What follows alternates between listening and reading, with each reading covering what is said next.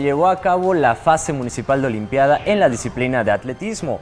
En los resultados en la prueba de los 100 metros femenil, la victoria fue para Frida Monserrat Moreno López, mientras que en varones se impuso Pablo Valtierra.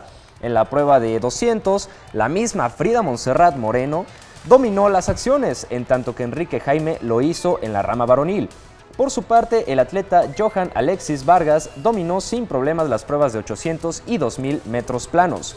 El director de deporte selectivo en la Comude, Raúl Rodríguez, habló de la importancia de participar en la fase municipal de Olimpiadas.